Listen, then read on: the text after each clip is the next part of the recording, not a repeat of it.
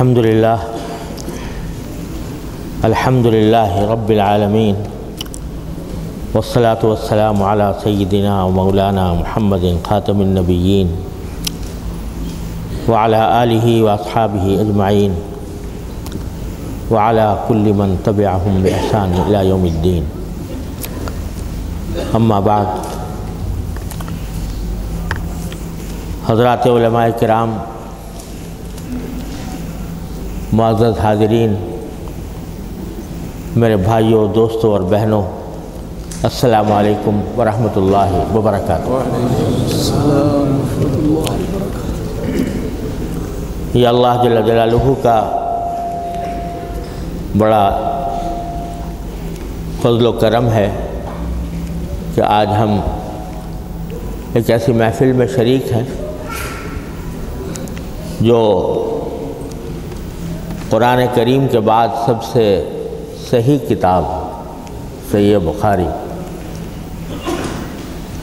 کے آخری درس اور آخری باب کے بیان کے لیے منعقد کی گئی ہے۔ الحمدللہ، جن طالبات کی تعلیم اس صحیح بخاری کی تکمیل کی صورت میں ہوئی ہے معلوم ہوا کہ ماشاءاللہ ان کی تعداد بائیس۔ طالبات ہیں۔ اللہ تبارک و تعالیٰ کا یہ فضل و کرم ہے کہ اس ملک میں رہتے ہوئے انہوں نے صحیح بخاری دور حدیث اور علم دین کے دوسرے حصوں کی تعلیم حاصل کی۔ اللہ تبارک و تعالیٰ اپنے فضل و کرم سے ان کی عمر میں ان کے علم میں ان کے کاموں میں برکت عطا فرمائے اور اس پر ان کے والدین، وہ خود ان کے والدین، ان کے اساتذہ، ابو بکر ٹرسٹ اور در حقیقت ہم سب مبارکباد کے مستحق ہیں کہ اللہ تبارک و تعالیٰ نے اس نعمت سے ان کو نوازا۔ الحمدللہ، ابو بکر ٹرسٹ کے تحت یہ تعلیم کا سلسلہ مختلف جہتوں سے مسلمانوں کی عظیم خدمت انجام دے رہا ہے۔ اللہ تبارک و تعالیٰ اس میں مزید برکت و ترقی عطا فرمائے۔ اور جو حضرات اس میں کسی بھی طرح شریک ہیں، اللہ تبارک و تعالیٰ ان کو بہترین جزا سے نوازے۔ چونکہ اس محفل کو ختم بخاری کا عنوان دیا گیا ہے اس لیے میں تبرکاً وہ آخری باب صحیح بخاری کا پڑھتا ہوں، اور پھر اس کے بعد کچھ گزارشات انشاءاللہ عرض کروں گا۔ بسم اللہ الرحمن الرحیم۔ باب قول اللہ تعالی ونضع الموازین القسط لیوم القیامہ وأن أعمال بني آدم وقولهم يوزن وقال مجاهد رحمه الله القسطاس العدل بالرومية ويقال القسط مصدر المقسط وهو العادل وأما القاسط فهو الجائر.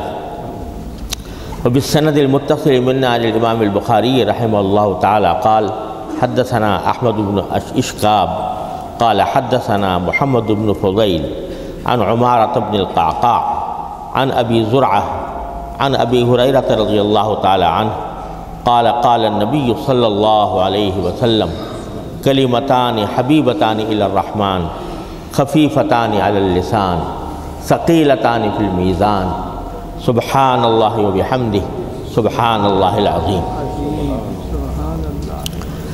یہ آخری باب ہے صحیح بخاری، جس پر امام بخاری رحمۃ اللہ علیہ نے اپنی اس کتاب کو ختم کیا ہے۔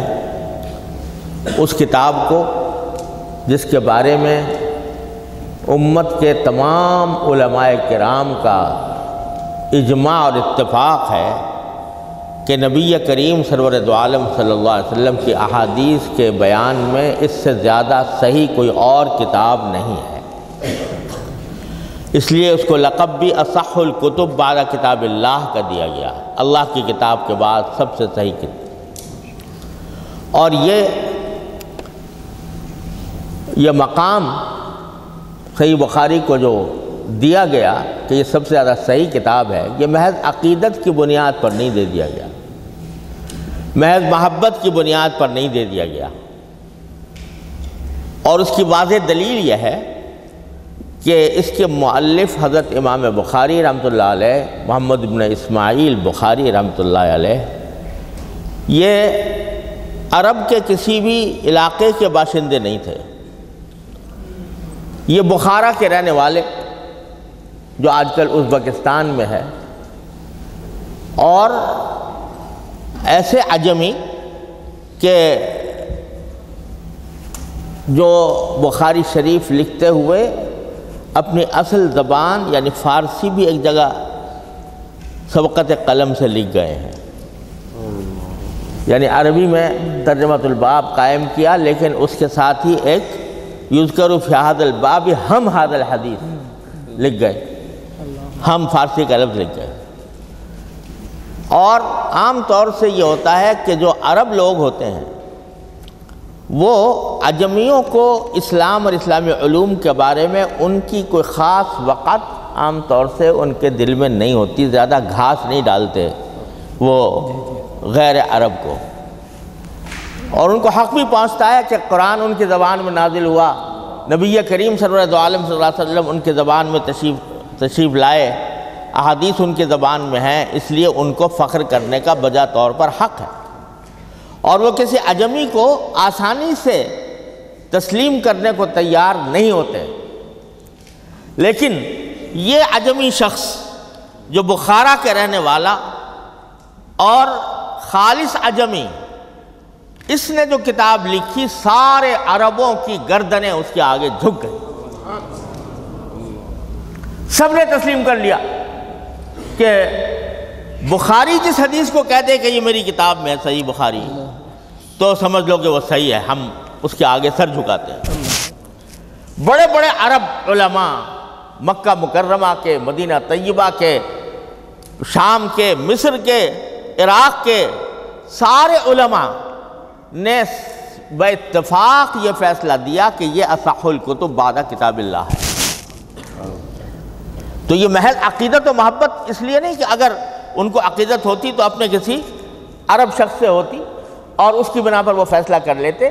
لیکن فیصلہ کیا ہے ہزار چھلنیوں میں اس کو چھاڑنے کے بعد۔ ایک ایک حدیث کا پورا تجزیہ کیا گیا ہے۔ اس کی سندوں کی پوری جانچ پڑتال کی گئی ہے۔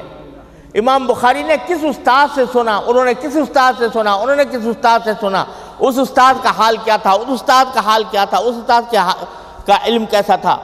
ایک ایک چیز کی جانچ پڑتال کرنے کے بعد، ہزار چھلنیوں میں ایک ایک حدیث کو چھاننے کے بعد پھر فیصلہ دیا کہ صحیح بخاری سے بہتر اور سے زیادہ کوئی صحیح کتاب اس روح زمین پر نبی کریم صلی اللہ علیہ وسلم کے احادیث کے سلسلے میں نہیں ہے۔ تو اللہ تبارک بتا رہے ہیں اگر ہمیں آپ کو اس کتاب کے کسی بھی ایک سطر کے پڑھنے اور پڑھانے کی بھی توفیق عطا فرما دی تو اس کا کرم ہے۔ اس کا انعام و کرم ہے، اس پر جتنا شکر ادا کیا جائے کم۔ اس کتاب کو امام بخاری رحمۃ اللہ علیہ کو جو یہ عظیم فضیلت اللہ تبارک تعالیٰ نے عطا فرمائی کہ ایک اور پہلو سے آپ دیکھیے کہ ہم لوگ عام طور سے حنفی فقہ کے پیرو ہیں۔ حنفی فقہ کو کی اتباع کرتے ہیں اور اس کو صحیح سمجھتے ہیں۔ امام بخاری رحمۃ اللہ علیہ کے بہت سے مسائل حنفی فقہ سے ہٹے ہوئے ہیں۔ بلکہ انہوں نے امام بخاری رحمۃ اللہ علیہ بعض جگہ امام ونیف رحمۃ اللہ علیہ کے اوپر تنقید بھی فرمائی ہے۔ تو یہ ساری باتیں جب ہم ان مسائل کی بات کریں گے تو امام بخاری رحمۃ اللہ کے دلائل کی تردید بھی کر دیں گے۔ لیکن اس کے باوجود یہ سب مانتے ہیں کہ اصح الکتب بعد کتاب اللہ، امام بخاری کی کتاب۔ اللہ تعالیٰ نے یہ مقام ان کو عطا فرمایا۔ اور اس میں مقام کو عطا کرنے کے بعد میں جو بہت بڑا عظیم دخل ہے، وہ حدیث کی فنی تحقیقات کو تو ہے ہی۔ لیکن امام بخاری رحمۃ اللہ علیہ نے جو حدیث لکھی ہے، اس کتاب میں سات لاکھ حدیثوں سے انتخاب کر کے، سات لاکھ احادیث سے انتخاب کر کے حدیثیں اس میں جمع کی ہیں۔ ایک ایک حدیث کے ایک ایک راوی کی تحقیق کی ہے اور اس کو تنقید کی تمام چھلنیوں میں چھانا ہے۔ سارے اپنے جو علوم، علم و فن کے کا زور صرف کرنے کے بعد بھی اطمینان نہیں ہوا، تو ہر حدیث پر غسل فرمایا، دو رکعتیں استخارے کی پڑھی اور اس کے بعد جب اطمینان ہو گیا کہ ہاں یہ حدیث لکھنی چاہیے، پھر لکھا۔ اب آپ اندازہ لگائیے، ایک ایک حدیث پر غسل فرمانا، دو رکعتیں استخارے کی پڑھنا۔ کیا مانا؟ کہ اللہ تبارک و تعالیٰ کی طرف رجوع کر کے گویا یہ فرما رہے ہیں کہ یا اللہ، میں نے اپنی طرف سے تو ساری کوششیں صرف کر دیں۔ جو میرے میرے میرے استطاعت میں جو بھی تنقید کی چھلنیاں تھیں اس کو میں نے استعمال کر لیا۔ لیکن یا اللہ، پھر بھی میں جب تک آپ کی آپ کی طرف سے منظوری نہ آ جائے، اس وقت تک میں اس کتاب اس کتاب میں اس کو لکھوں گا نہیں۔ رجوع اللہ۔ اللہ تبارک و تعالیٰ کی طرف رجوع۔ تو یہ مقام جو اس کو اللہ تبارک و تعالیٰ عطا فرمایا، وہ محققین تو اور بھی بہت ہوں گے اور ہیں، تاریخ میں موجود ہیں۔ لیکن ایسا محقق جو اپنی تحقیق سے زیادہ رجوع اللہ پر اعتماد کرے، اللہ تعالیٰ کی طرف رجوع پر بھروسہ کرے، یہ محقق امام بخاری کی شکل میں اللہ تبارک و تعالیٰ نے اس امت کو عطا فرمایا اور اس کے ذریعے اللہ تعالیٰ نے نبی کریم صلی اللہ علیہ وسلم کی احادیث ہم تک پہنچائیں۔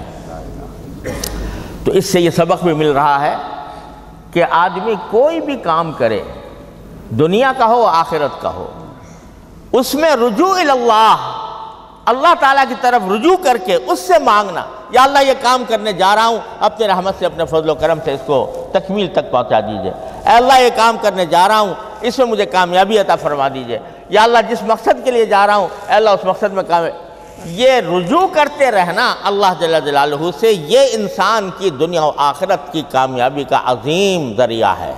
یہ امام بخاری نے سکھایا۔ تو اس اصح القتب بالا کتاب اللہ کو ختم کیا امام بخاری نے اس باب پر۔ باب قول اللہ تعالی وَنَضَعُ الْمَوَازِينَ الْقِسْطَ لِيَوْمِ الْقِيَامَةِ۔ یہ اللہ تعالیٰ کی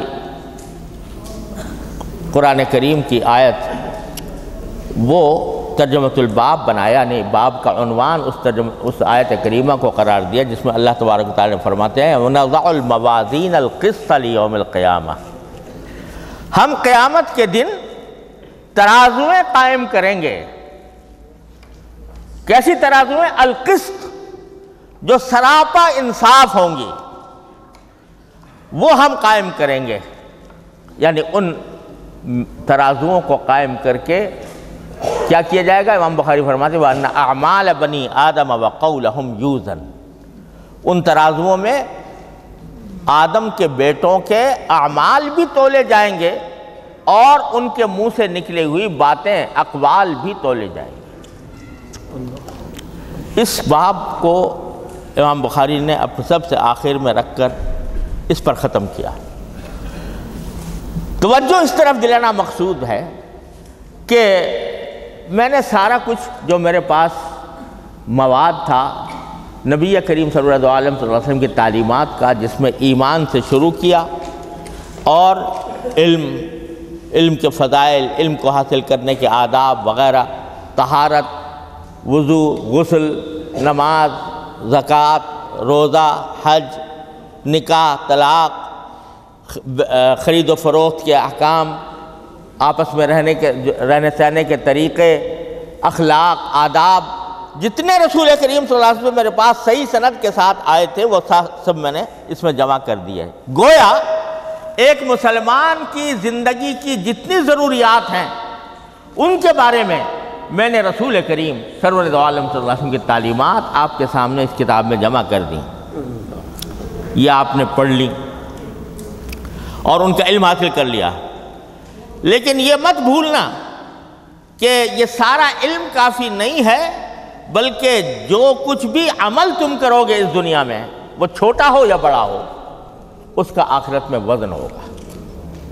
تولا جائے گا اور یہ فرمایا گیا ہے کہ اعمال تولے جائیں گے۔ یہ نہیں فرمایا کہ گنے جائیں گے۔ تولے جائیں گے۔ یعنی اگر چھوٹا سا بھی عمل ہو لیکن وزن زیادہ ہو، تو وہ تمہارے لیے جنت کے راستے کھولے گا۔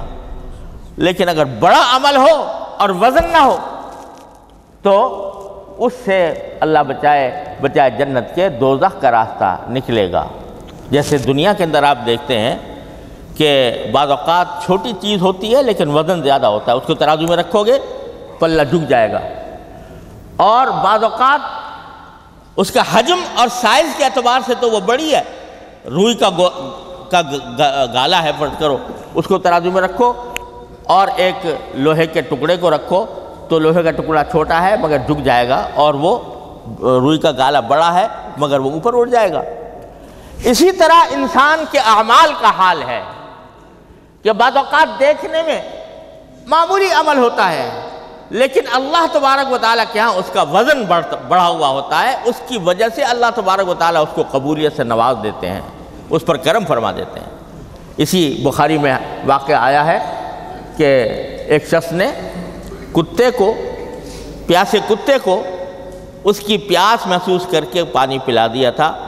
اس کا واقعہ نبی کریم سرور دو عالم صلی اللہ علیہ وسلم بیان فرمایا کہ اس نے کتے کو پانی پلایا، فشکر اللہ لہو فغفر اللہ اللہ تبارک و تعالیٰ نے اس کے اس عمل کی اتنی قدردانی فرمائی کہ مغفرت فرمائی۔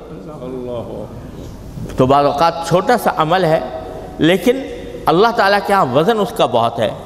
اور اس وزن کی وجہ سے اس کا اجر بھی زیادہ اس سے مغفرت بھی حاصل۔ یہ اللہ تبارک و تعالیٰ کیا کی کا فضل و کرم ہے کہ اسی کے اوپر بعض اوقات مغفرت فرما دی اب سوال یہ پیدا ہوتا ہے کہ عمل میں وزن کیسے پیدا ہو؟ عمل میں وزن کیسے پیدا ہو؟ جس سے کہ میزان عمل کا پلہ جھک جائے، وزنی ہو جائے۔ تو امام بخاری رحمۃ اللہ علیہ کے انداز سے ایسا لگتا ہے کہ وہ یوں فرما رہے ہیں زبان حال سے کہ اگر وزن اعمال کا طریقہ پوچھنا ہو تو میری سب سے پہلی حدیث دیکھ لو۔ میں نے جو سب سے پہلی حدیث روایت کی تھی، وہ کیا تھی؟ انما الاعمال بالنیات، کہ اعمال کا دار و مدار نیتوں پر ہوتا ہے۔ اور اگر نیت صحیح ہو، تو چھوٹا سا عمل بھی انسان کی نجات کا ذریعہ بن سکتا ہے۔ اور اگر اللہ بچائے نیت خراب ہو، تو بڑے سے بڑا عمل بھی انسان کے لیے کافی نہیں ہوتا۔ حدیث میں رسول کریم صلی دو عالم صلی اللہ علیہ وسلم نے حضرت معاذ ابن جبل رضی اللہ تعالیٰ عنہ کو خطاب کرتے ہوئے فرمایا کہ اخلص دینک یکفیک العمل القلیل او کما قال صلی اللہ علیہ وسلم، اپنے دین میں اخلاص پیدا کر لو. تو کیا ہوگا؟ کہ تھوڑا سا عمل بھی تمہارے لیے کافی ہو جائے گا. اگر اخلاص پیدا کر لیا، اللہ تبارک و کے لیے اخلاص پیدا کر لیا، تو تھوڑا عمل بھی کافی ہو جائے گا. اور اگر اخلاص نہیں ریاکاری ہے، حب جاہ ہے، حب مال ہے، حب دنیا ہے تو بڑے بڑے اعمال جو تم نے کیے ہیں، وہ بھی کوئی قیمت اللہ تعالیٰ کی نہیں رکھتے۔ میں نے اپنے شیخ حضرت ڈاکٹر عبدالحی صاحب رحمۃ اللہ علیہ سے سنا کہ ایک صاحب تھے، ایک عالم تھے، جو جن کے ساری زندگی دین کی خدمت میں گزری بعض اور خطاب بیانات اور تدریس، درس و تدریس تالیفات۔ جب ان کا انتقال ہوا، تو کسی نے ان کو خواب میں دیکھا اور پوچھا کہ حضرت، آپ کے ساتھ کیا معاملہ ہوا؟ تو انہوں نے جواب میں فرمایا کہ عجیب معاملہ ہوا۔ معاملہ یہ ہوا کہ ہم نے تو یہ سوچا ہوا تھا کہ شاید جو کچھ ہم نے خدمت انجام دی ہے، کچھ اس کا صلہ اللہ تعالیٰ عطا فرمائیں گے۔ لیکن جب اللہ تعالیٰ کی بارگاہ میں حاضری ہوئی تو معاملہ یہ ہوا کہ اللہ تعالیٰ نے فرمایا کہ ہمیں تمہارے ایک عمل، تمہارا ایک عمل بہت پسند آیا اور بڑے اخلاص کے ساتھ تم نے کیا تھا۔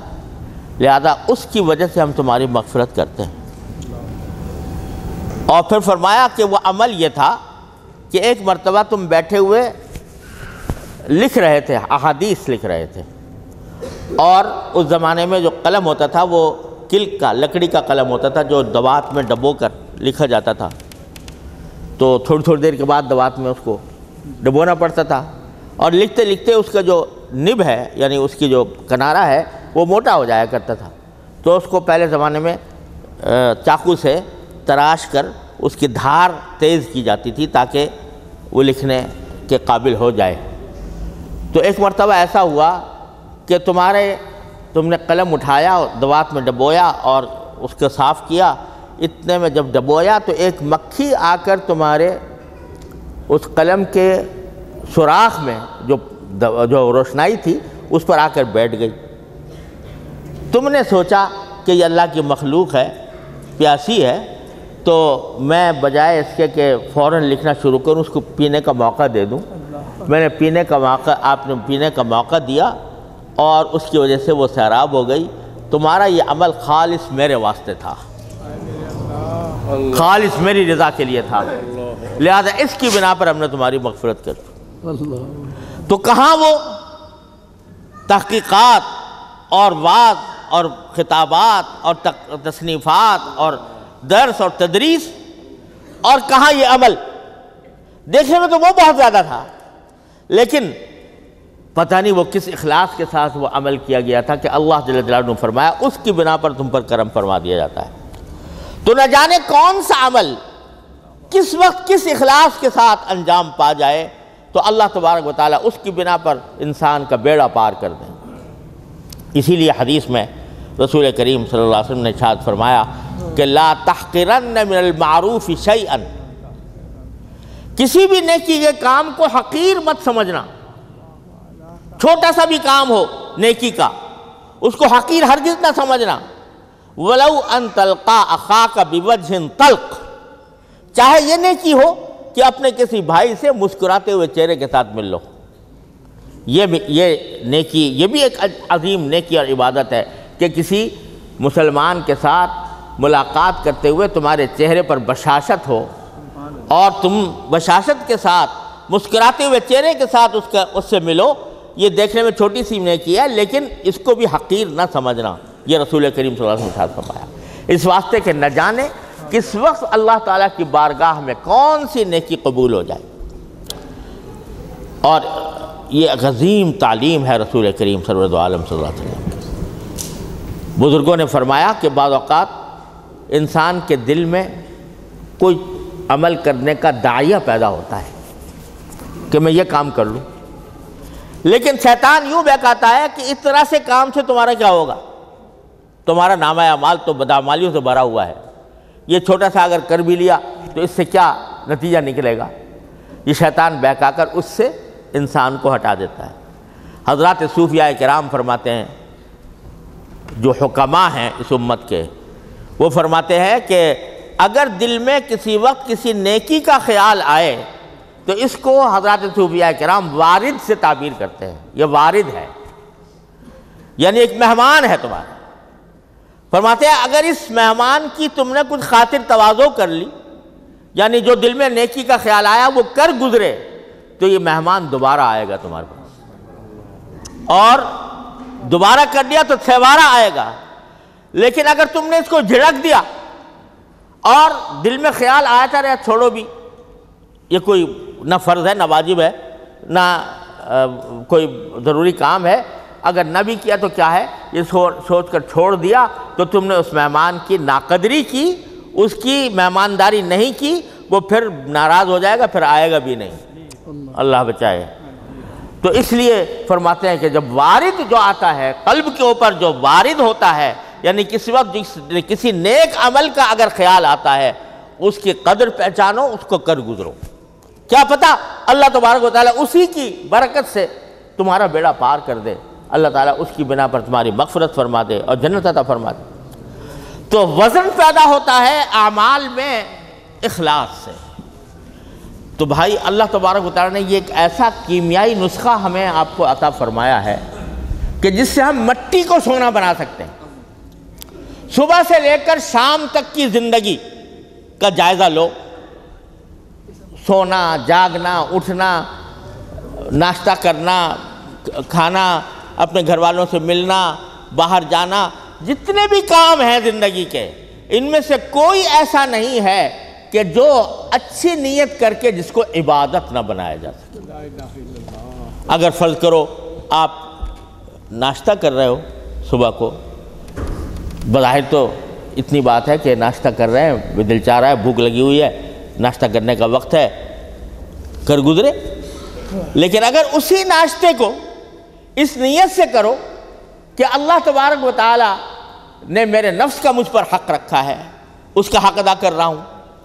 اور اس نیت سے کرو کہ اس کے ذریعے مجھے جو تقویت حاصل ہوگی، میں اس کو اپنے ذمے عائد ہونے والے حقوق کی ادائیگی میں صرف کروں گا۔ اس نیت کے ساتھ کرو۔ اور اس نیت کے ساتھ کرو کہ اللہ تبارک و تعالیٰ کی عطا ہے، اس کا شکر ادا کر کے میں یہ کھاؤں گا۔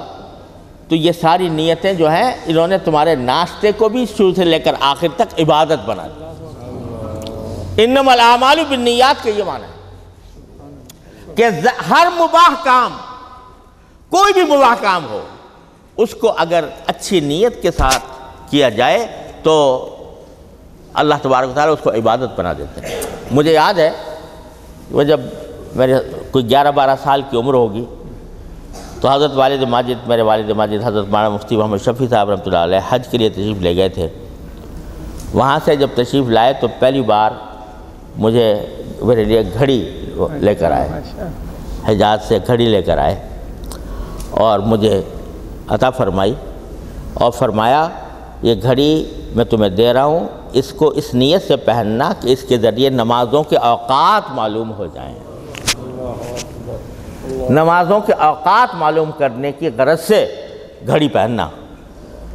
اور فرمایا کہ اس نیت سے پہنو گے تو گھڑی پہننا بھی عبادت ہو جائے گا تمہارا تو بزرگوں کی صحبت سے یہ چیز حاصل ہوتی ہے کہ وہ ذرا سی دیر میں زاویہ نگاہ کے اندر تبدیلی پیدا فرما دیتے ہیں۔ زاویہ نگاہ بدل دیتے ہیں۔ اور زاویہ نگاہ کے بدلنے سے زمین و آسمان کا فرق واقع ہو جاتا ہے۔ ایک عمل جو بے وزن تھا وہ زاویہ نگاہ کی تبدیلی سے وزندار بن جاتا ہے۔ میرے بڑے بھائی حضرت ذکی کیفی صاحب مرحوم جب یہ بچے تھے تو انہوں نے سب سے پہلے خط لکھنا جب سیکھا تو حضرت تھانوی رحمۃ اللہ علیہ کو خط لکھا۔ اور جیسے بچے لکھا کرتے ہیں اس طرح لکھ کے بھیج دیا۔ حضرت نے جواب میں لکھا کہ الحمدللہ مجھے تمہارا خط دیکھ کر خوشی ہوئی۔ اب اپنے خط کو اور زیادہ بہتر بنانے کی کوشش کرو اور نیت یہ رکھو کہ پڑھنے والے کو تکلیف نہ ہو۔ نیت یہ رکھو کہ پڑھنے والے کو تکلیف نہ ہو۔ اور پھر اگلے جملہ یہ لکھا، دیکھو میں تمہیں ابھی سے صوفی بنا رہا ہوں۔ دیکھو میں اب تمہیں ابھی سے صوفی بنا رہا ہوں۔ اب یہ لوگ کہیں گے بھی خوش خط لکھنے کا صوفی ہونے سے کیا تعلق؟ ہمارے ہاں معاشرے میں تو جتنا بے ڈھنگا اتنا ہی بڑا صوفی۔ لیکن حضرت فرما رہے ہیں کہ خط صاف ستھرا بناؤ تاکہ تم صوفی بن جاؤ۔ کس لیے بن جاؤ؟ کہ جب نیت کرو گے یہ کہ میں خط اس لیے بہتر کر رہا ہوں تاکہ پڑھنے والا آسانی سے پڑھ لے۔ تو تم نے ایک پڑھنے مخاطب کو راحت پہنچانے کی نیت یہ کی، یہ اس نیت سے یہ عمل عبادت بن گیا۔ اور صوفی کا مطلب یہی ہوتا ہے حقیقی صوفی کا کہ جو نیت کی تبدیلی سے دعوے نگاہ کی تبدیلی سے یہ مٹی کو بھی سونا بنا جتنے مباح کام ہیں، جتنے مباح کام ہیں، ان سب کے اندر یہ نسخہ نسخہ کیمیا جاری ہوتا ہے۔ کوئی عمل ایسا نہیں ہے جس کو آدمی حسن نیت سے، جس کو وزندار عبادت نہ بنائے۔ میرے شیخ حضرت حضرت ڈاکٹر صاحب قدر اللہ تعالیٰ سر فرمایا کرتے تھے کہ الحمدللہ میں نے مہینوں، نہیں سالوں مشق کی۔ کیا مشق کی ہے؟ مشق یہ کی ہے کہ میں گھر میں داخل ہوا، بچہ کھیلتا ہوا اچھا نظر آیا۔ دل چاہا اس کو گود میں اٹھا لوں۔ اس کو دل بے ساختہ دل چاہا گود میں اٹھا لوں، اس کو پیار کروں۔ لیکن تھوڑی دیر کے لیے رک گیا۔ میرا دل چاہ رہا ہے اس بچے کو اٹھانے کو۔ نہیں اٹھاؤں گا۔ پھر دل میں خیال لائے کہ نبی کریم سرورت عالم صلی اللہ علیہ وسلم کا معمول یہ تھا کہ بچوں سے محبت فرماتے تھے۔ حضرات حسنین رضی اللہ تعالیٰ عنہما آ رہے ہیں، لڑکتے پڑکتے، آپ ممبر سے اتر کر ان کو سنبھال رہے ہیں۔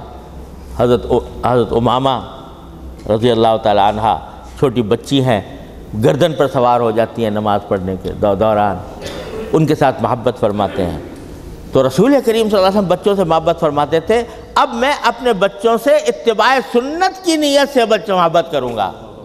اتباع سنت کی نیت سے ان کو گود میں اٹھاؤں گا۔ اب اٹھا لو۔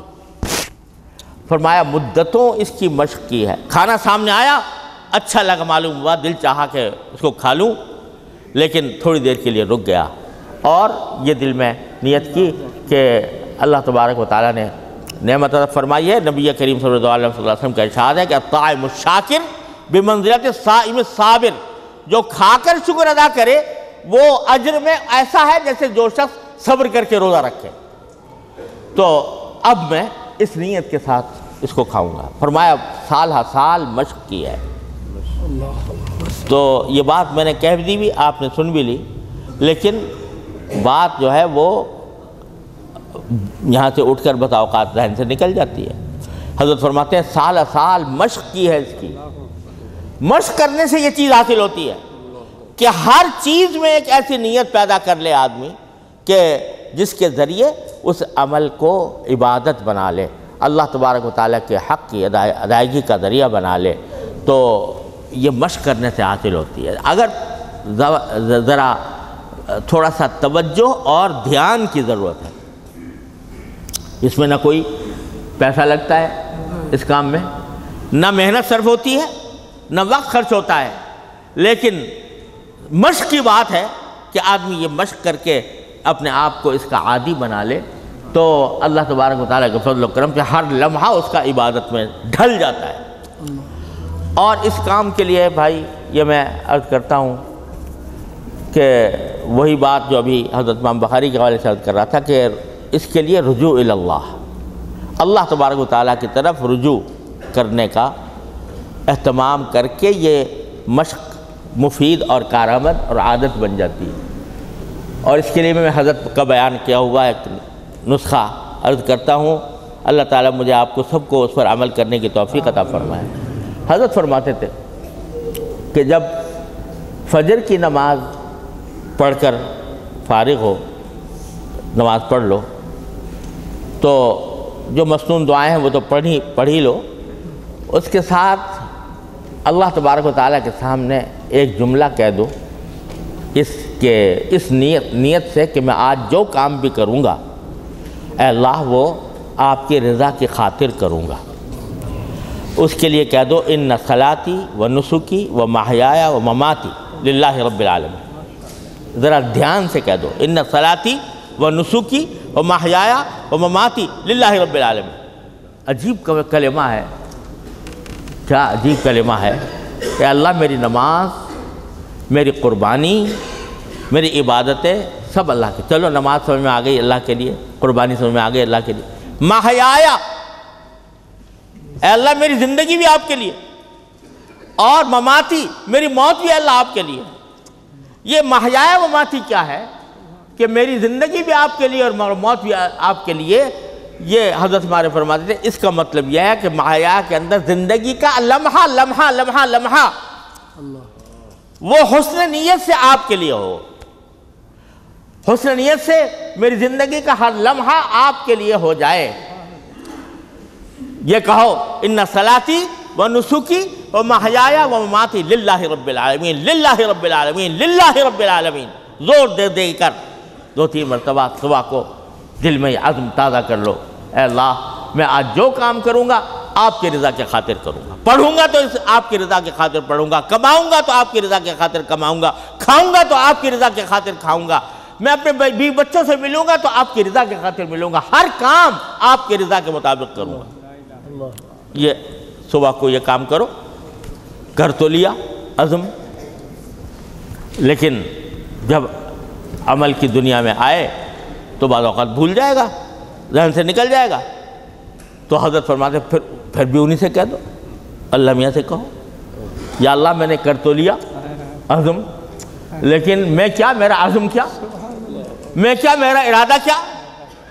جب تک آپ کی توفیق نہ ہوگی، میں اس پر ثابت قدم نہ رہ سکوں گا۔ تو اے اللہ، مجھے اپنی رحمت سے اس پر ثابت ثبات قدم عطا فرما۔ دے اللہم انا قلوبنا و نواسینا و جوارحنا بیدک لم تملکنا منہا شیعہ فَإِذَا فَعَلْتَ ذَلِكَ بِنَا فَكُنْ أَنْتَ وَلِيَّنَا وَحْدِنَا إِلَى سَوَائِ السَّبِيلِ۔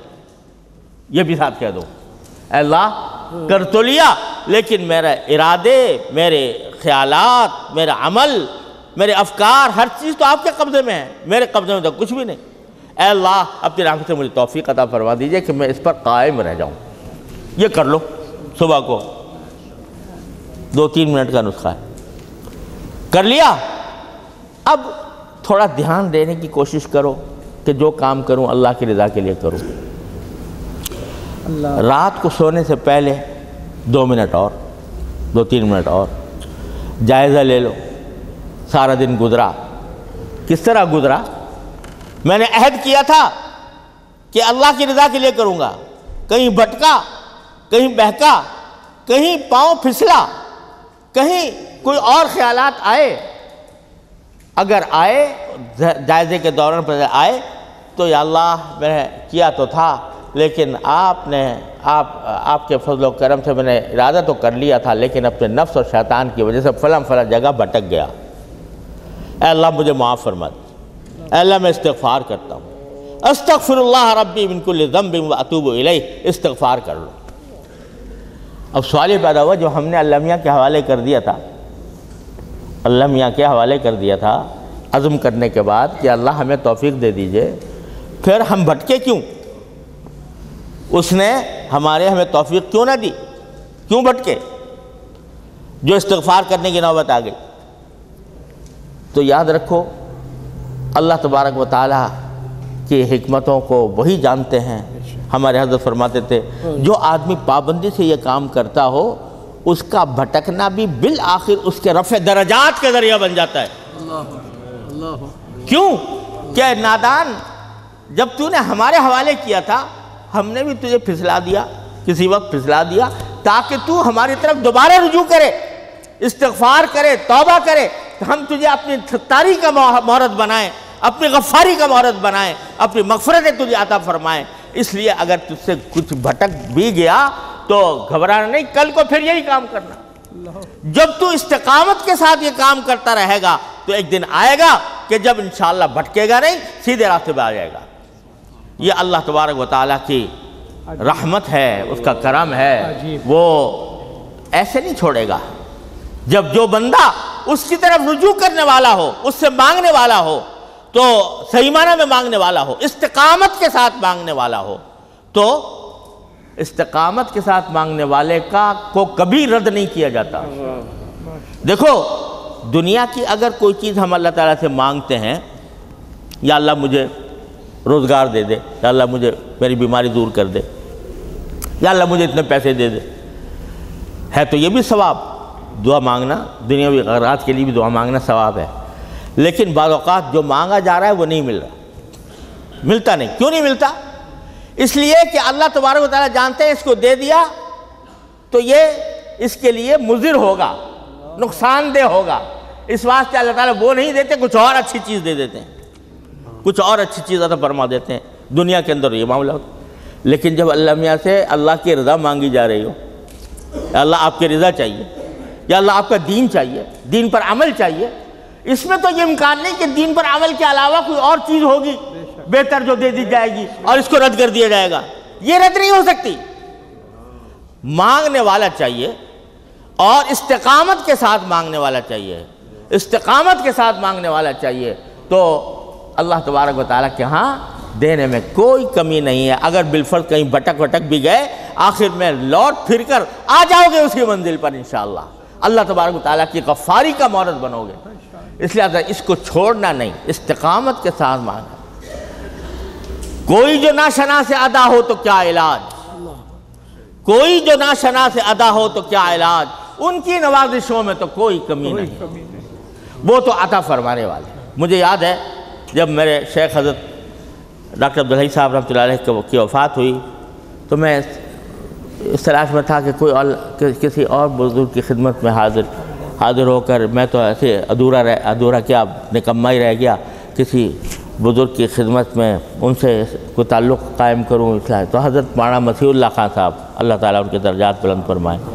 ان کی خدمت میں میں نے خط لکھا اور یہ لکھا کہ حضرت میں اس طرح بہت محتاج ہوں۔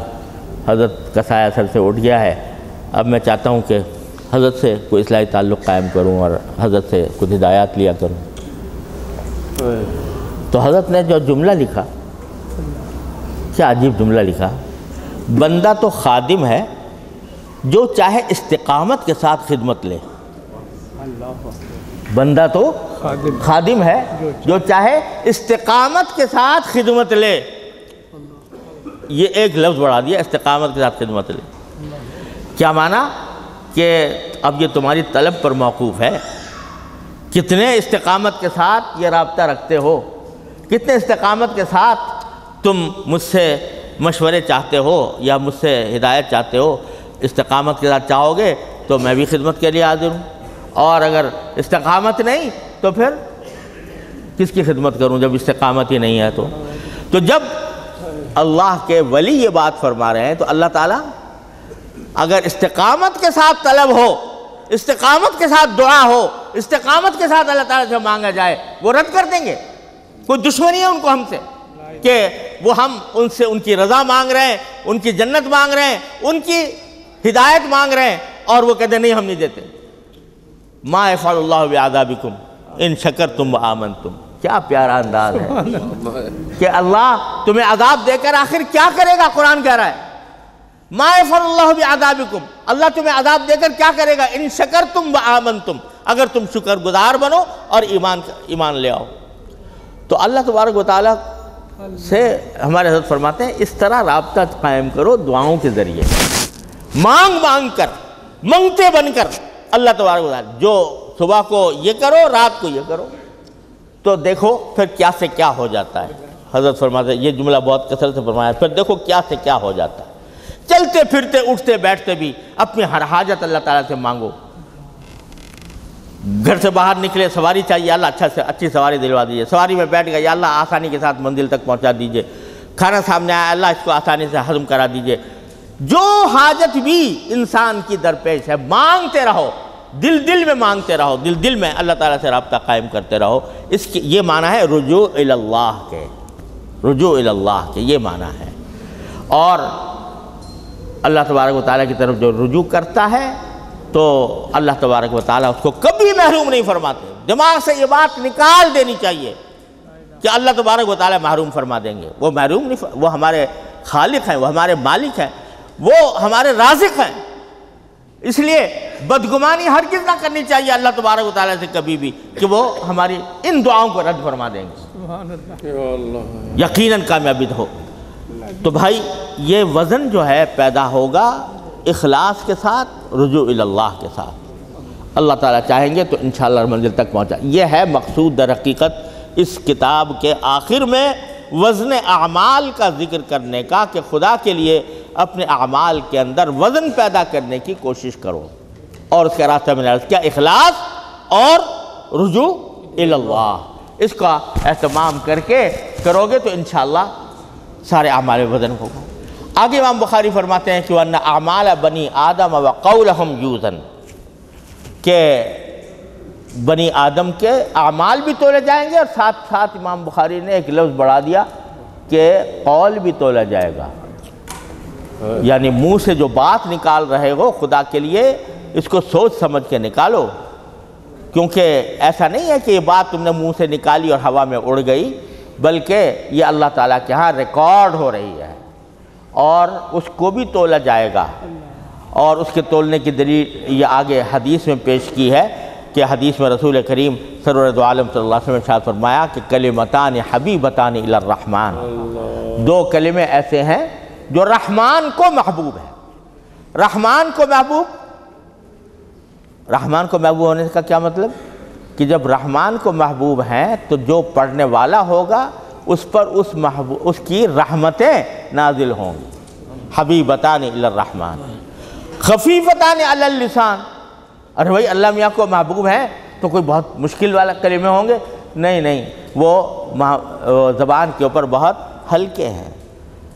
اچھا ہلکے ہیں تو پھر ان کا وزن بھی کم ہوگا۔ کہا کہ نہیں، ثقیلتانی فی المیزان۔ میزان کے اندر ان کا وزن بہت۔ اس سے امام بخاری کہہ رہے ہیں اس سے پتہ چلا کہ منہ سے جو لفظ نکال رہے ہیں، ان کا بھی وزن ہوگا۔ سبحان اللہ و بحمدہ ہی جو نکالا ہے، سبحان اللہ العظیم یہ کلمہ بھی وزن کیا جائے گا اور وزن کے نتیجے میں اس تمہیں انشاءاللہ جنت تک پہنچائے گا۔ چنانچہ ایک حدیث میں اسی بخاری میں دوسری جگہ حدیث گزری ہے کہ جو شخص یہ کلمہ سو مرتبہ پڑھے تو اس کے اگر گناہ ریت کے ٹیلوں کے، ریت کے ٹیلے کے ذرات کے برابر بھی ہوں تو اللہ تعالیٰ اس کو معاف فرما دیتے ہیں صغائر کو معاف فرما دیتے ہیں قبائر تو توبہ سے معاف ہوتے ہیں اور حقوق العباد حقوق ادا کرنے سے معاف ہوتے ہیں یا صاحب حق کے معاف کرنے سے معاف ہوتے ہیں، لیکن صغائر بے شمار ہمارے ہر وقت سرزد ہوتے رہتے ہیں۔ اللہ تبارک و تعالیٰ اس کو اگر وہ ریت کے ٹیلے کے ذرات کے برابر بھی ہوں تو اللہ تعالیٰ اس کلمے کے برکت سے معاف فرما دیتے ہیں۔ سبحان اللہ وحمدہ سبحان اللہ العظیم۔ اس کو بھائی اپنا وظیفہ بنانا چاہیے کہ کم از کم دن میں سو مرتبہ اللہ تعالیٰ اس کو پڑھنے کی توفیق عطا فرما دے۔ اور اس اعتقاد کے ساتھ کہ اس کے ذریعے اللہ تعالیٰ ہماری مغفرت کا ذریعہ پیدا کر رہے ہیں۔ بہرحال اس سے امام بخاری کہنا ہے کہنا ہے چاہ رہے ہیں کہ جو کلمہ بھی ہم منہ سے نکالتے ہیں، اس کا بھی اللہ کے ہاں وزن ہوگا۔ اور حدیث میں رسول کریم سرورت عالم صلی اللہ علیہ وسلم کا ارشاد ہے، اس کو ہمیشہ پیش نظر رکھنا چاہیے کہ انسان کو انسان کو جہنم کے اندر اوندھے منہ دھکیلنے والی کوئی چیز اتنی خطرناک نہیں ہے جتنی انسان کی زبان زبان کا غلط استعمال، جھوٹ، غیبت، بہتان، الزام تراشی، دل آزاری، یہ اتنے بڑے بڑے گناہ ہیں زبان کے کہ جو انسان کو جہنم میں اوندے منہ لے جانے والے ہیں۔ لہذا امام بخاری یہ جملہ، یہ قول ہم یوزن فرما کر اس بات کی طرف ہمیں توجہ دلا رہے ہیں کہ بھائی خدا کے لیے زبان کو قابو میں رکھا کرو۔ ہمارے معاشرے میں زبان کے معاملے میں بڑی سخت بے احتیاطی ہے۔ بعض اوقات مبالغے کی نیت مبالغے کرنا پر آتے ہیں تو وہ جھوٹ کی سرحدیں چھو لیتا ہے۔ بعض اوقات کسی کا ذکر ہوتا ہے تو وہ غیبت کے اندر شامل ہو جاتا ہے۔ کسی پر بہتان عائد کر دیا جاتا ہے، کسی پر الزامی تراشی کی جاتی ہے۔ اللہ بچائے اور کچھ نہیں، تو بے فائدہ گفتگو، لغو گفتگو، جس کے اندر کبھی نہ کبھی گناہ کے اندر ابتلا ہو جاتا ہے۔ تو بھائی، اس کو امام بخاری فرما رہے ہیں کہ اپنے قول کی پرواہ کرو، اس کے اندر وزن پیدا کرو، سوچو پھر بول، سوچ کر بول۔ جو بات کہہ رہے ہو، وہ درست ہے کہ نہیں؟ حضرت امام شافی رحمۃ اللہ علیہ سے کسی نے پوچھا کہ جب آپ سے کوئی بات کرتا ہے تو تھوڑی دیر کے لیے آپ ہلکا سا وقفہ کرتے ہیں، پھر جواب دیتے ہیں، تو کیا وجہ، یہ وقفہ کیا، کیوں کرتے ہیں؟ تو فرمایا، اس وقفے میں میں اپنے آپ کو جہنم اور جنت پر پیش کرتا ہوں کہ کوئی ایسا کلمہ تو نہیں کہہ رہا ہے جو جہنم کی طرف لے جانے والا اس لیے تھوڑا سا وقفہ کر کے، سوچ کے پھر جواب دیتا ہوں۔ کیونکہ کچھ پتہ نہیں منہ سے کوئی ایسی بات نکل جائے کہ جو مجھے جہنم کی طرف لے جائے۔ تو خدا کے لیے ہم لوگوں کو چاہیے کہ اپنے زبان سے کوئی بات نکالتے ہوئے سے پہلے سوچ لیا کریں کہ یہ ٹھیک کہہ رہے ہیں یا غلط کہہ رہے ہیں۔ حدود کے اندر ہے یا حدود سے متجاوز ہے۔ تو اس کے یہ اس کا اگر اہتمام کر لے انسان تو انسان کی زبان بھی درست ہو جائے، نہ جانے کتنے جھگڑے، کتنے قضیے، کتنے نزاعات۔ اور کتنے فتنے سے ختم ہو جائیں۔ اللہ تبارک و تعالیٰ اپنے فضل و کرم سے، اپنی رحمت سے ہم سب کو اس پر عمل کی توفیق عطا فرمائے۔ واخر دعوانا الحمدللہ رب العالمین۔